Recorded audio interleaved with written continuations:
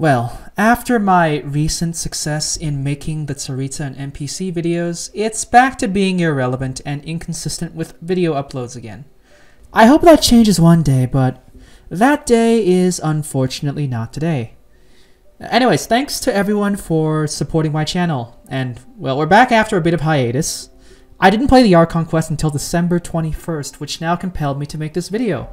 It gave me the inspiration I needed to push myself to make a review, despite my uh, recent bad health. It's fine though, I'll be okay soon. So, the Archon Interlude quest, or should I say, the official Scaramouche chapter. These are just first impressions, so I'm sure there are plenty of deep diving going on that has a better idea of what's happening. I might make a follow-up video on some of the elements in this chapter, uh, but that's not a promise. I'm really bad at keeping video promises, as I've discovered. There's quite a lot of topics in here to delve into, so I'll just start now. First off, this quest, it was great. Certainly not as dramatic nor tense as the previous interlude quests, and if I were to compare to all the Sumeru Archon quest, it would be 4th place behind Acts 5, 4, and 2. Uh, but that doesn't mean I was disappointed. This chapter was everything it needed to be. It retained writing elements that I really appreciated in Act 5, like the payoff from the two NPCs that we saw at the beginning of the chapter. One thing I will regrettably say is that I had a hard time following the notes they gave me at the start. I feel like I should be onto smaller details like this now. Genshin lore is filled with miscellaneous writings on just about any random item from artifacts to weapons to books, and so I'm not yet at the level of detail required to turn this channel into a serious hardcore lore analysis. I still have a long way to go before I can be considered on that level. Uh, fortunately for me though, the story presentation of those events later in the chapter meant I didn't have to worry about it.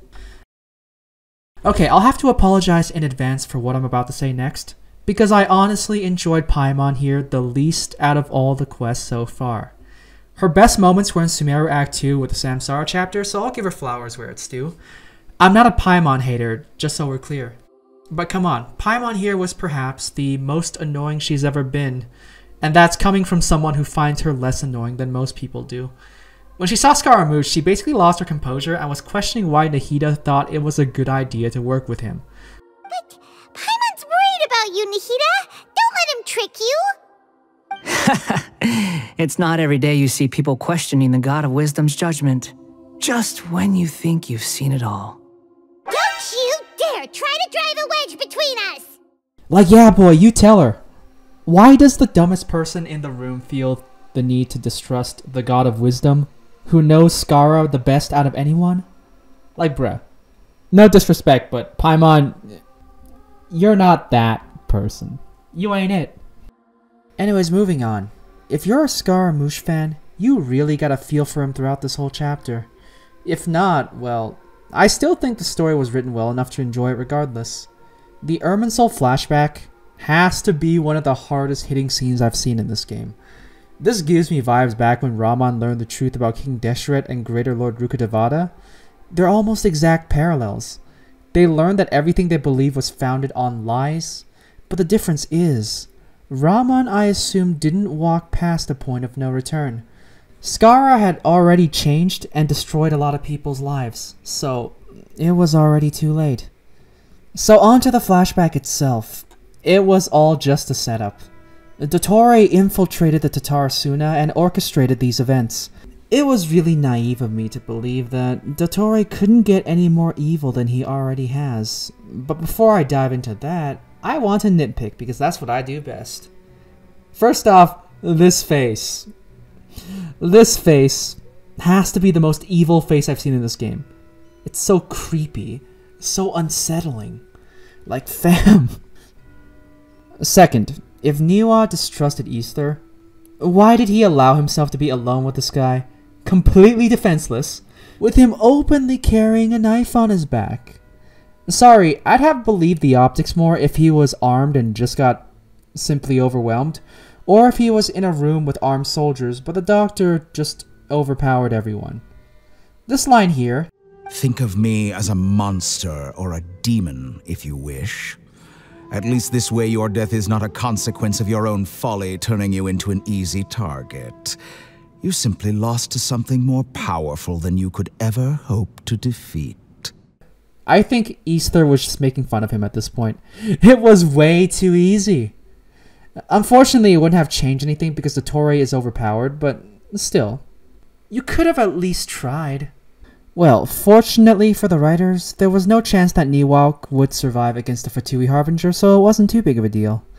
Aside from the flawed execution, it was a great cutscene and I liked it. It turns out there was no second betrayal. Scaramouche was loved and appreciated back then, and it could have just ended there. Now let's move on to the Jester. Pierro, the first Fatui Harbinger. We've gotten a lot more about this guy than I was expecting. I have a feeling that he's going to be relevant even further to the end of the Tsaritsa, especially since we've learned that he met the Abyss sibling and probably stuff happened between them. Are the two allies? What's Dainsleif connection to them? Perhaps those questions won't even be answered in Snezhnaya, and Khaenri'ah would be the Pierro and Dainsleif chapter.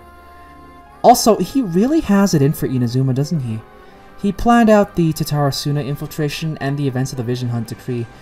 He was the mastermind behind the uh, distribution of manufactured illusions in Inazuma. I think I'll have to pay more attention to any reference of him in the future. He's really racking up the crimes to his name, and, well, I kinda want him to be playable, but right now it doesn't seem to be moving in that direction. But yeah, huge endgame character. He's gotten a lot of hype and build up this quest, and I'm excited for his future. Another thing I want to talk about is specifically the means to recruit the other Harbingers. The way a plan was executed to manipulate Scaramouche's feelings to join the Harbingers, questions would need to be raised about how the others were recruited. The Torii flashback was a massive game changer because now we must ask, who else was manipulated into joining the Harbingers, and who chose them organically? Childe might have to be a legitimate one, but Scaramouche wasn't. He would have never joined on his own. Okay, next I'd like to talk about the Irminsul in this chapter. Okay? I am so happy they did this. They explored the memory exposure thing with Nahida and the others. I thought after Greater Lord Rukkhadevata was erased, nobody else would ever find out that their memories were being tampered with.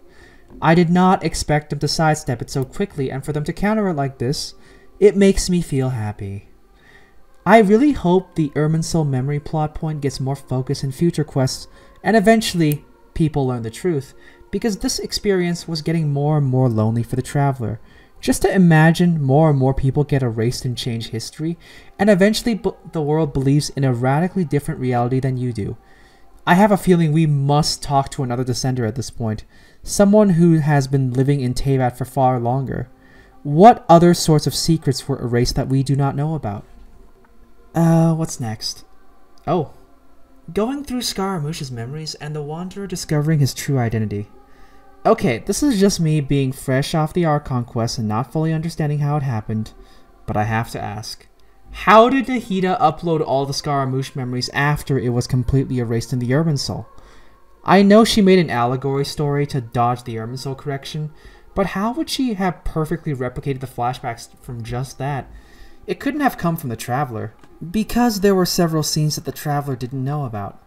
I'll look for answers to this later, but for now, I'm just posing the question in case someone knows. Uh, now, moving on.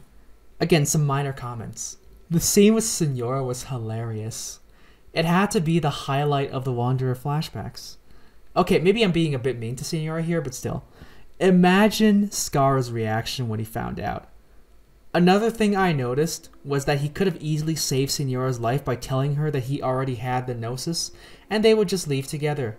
He left her for dead at the hands of the Traveler, like for real.